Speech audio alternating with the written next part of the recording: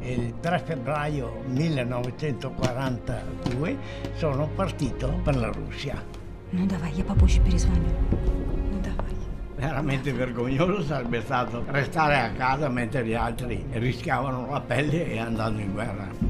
Giuseppe ha combattuto la mia gente, ma non riesco a sentirlo nemico. Ha sofferto, è stato prigioniero e da quando è tornato non ha mai smesso di condividere con gli altri la sua storia. Il 3 dicembre ero a casa e il 24 dicembre ero prigioniero Maestra, Dimmi Mattia.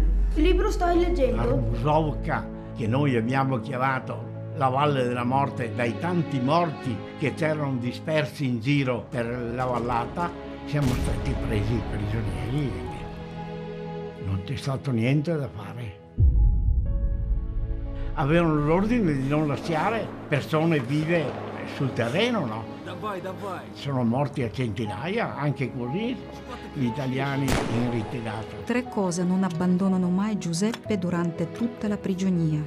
L'orologio, la fede e la passione per il disegno. I morti non era che li trasportassero di giorno, li trasportavano di notte per non far vedere alla popolazione quanta gente moriva nei campi. Si scherzava con, la morte scavando la tomba. Meglio morire, diceva qualcuno. Io dicevo meglio vivere per ritornare e raccontare questa esperienza tragica da cui ero riuscito a uscire vivo.